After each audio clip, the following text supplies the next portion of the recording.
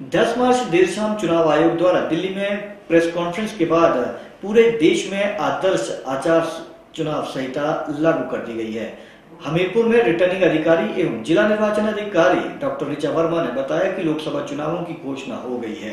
उन्होंने कहा कि भारतीय दंड संहिता की धारा 177 के अनुसार यदि कोई भी व्यक्ति निर्वाचन प्रक्रिया के दौरान धनराशि या अन्य किसी प्रकार का परितोषण प्राप्त करता है या परितोषण देता है, जो कि किसी व्यक्ति के मतदान के अधिकार में प्रभाव डालता है तो उसको एक साल के कारावास या जुर्माना दोनों की सजा हो सकती है।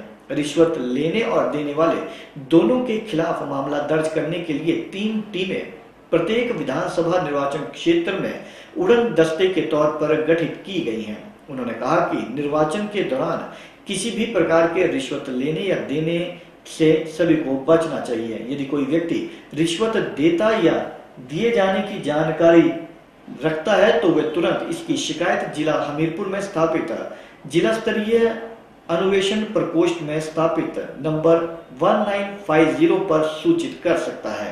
उन्होंने ये भी आदेश जारी किया कि चुनावों के स्वतंत्र, निष्पक्ष और सुचारू संचालन और मानव जीवन पर किसी भी खतरे को रोकने के लिए और सार्वजनिक शांति में बाधा उत्पन्न करने और गड़बड़ी को रोकने के लिए पूरे ज़िले में अस्त्र शस्त्र ले जाने पर पूर्ण प्रतिबंध रहेगा। ये आदेश पुलिस कर्मियों होमगार्ड व अन्य किसी ऐसे व्यक्ति पर लागू नहीं होगा जो कानून और व्यवस्था पर ड्यूटी में तैनात हो। एस के लिए हमीरपुर से ब्यूरो रिपोर्ट।